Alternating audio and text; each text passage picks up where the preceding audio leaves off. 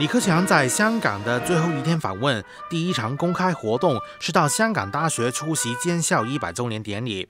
座上客包括了李嘉诚与何鸿燊等香港和澳门的富豪，还有现任苏格兰阿伯丁大学校监、前英治时期的香港总督魏一信。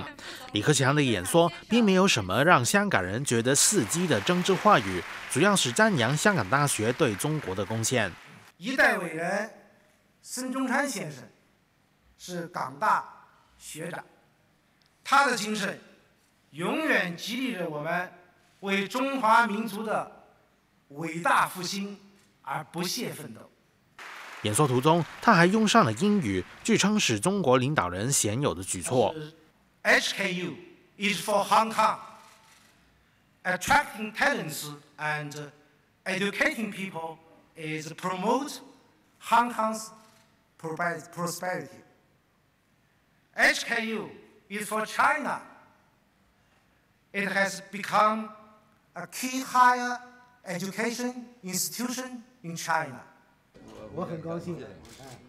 李克强在典礼过后与香港的中国国学大师饶宗颐会面，然后在香港大学校方挑选的学生向导之下参观有关港大历史的展览。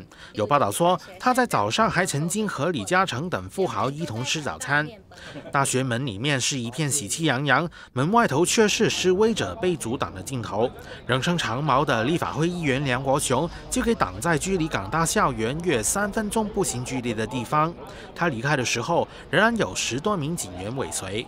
终于解散到啦吓！啊，饮茶啊！警察与示威者对峙的局面到下午再次出现。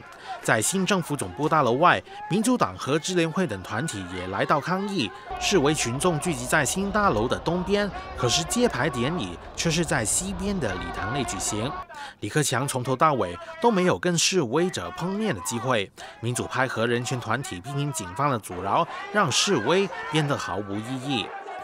李克强在总结三天的访问行程时候说：“香港有的是潜力、活力和生命力，对香港的发展充满信心。”但是本地学者分析说，虽然他带来的金融措施得到香港财经界的欢迎，但是如此严密的安保措施也让不少香港市民反感，形成两极化的声音。BBC 中文网记者叶静思香港报道。